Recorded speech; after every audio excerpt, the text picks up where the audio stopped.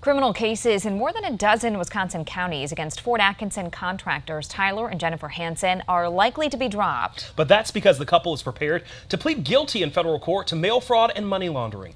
Tony Galli spoke with one of the many victims on the coming accountability for these contractors.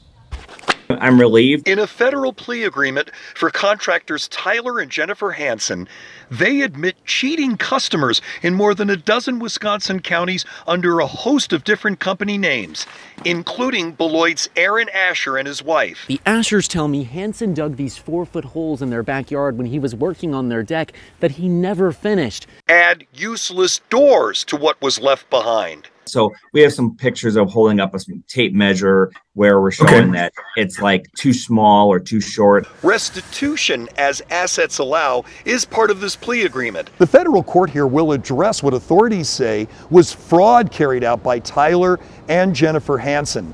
Customer Aaron Asher hopes that more will be done to protect people from grifters in this industry. I just hope in the future that, you know, something can be done statewide where these these these companies can change their names at the drop of a hat. While sentences will be more lenient because the Hansens accepted responsibility, years of prison are still possible. Prison keeps them out of the public. Aaron Asher would prefer probation for the Hansens to allow them to work and pay back victims. Tony Galli, 27 News. Court schedules indicate many of the state cases against the Hansens will be dismissed on or before September 27th. That's the day the Hansens appear in federal court in Madison to be sentenced.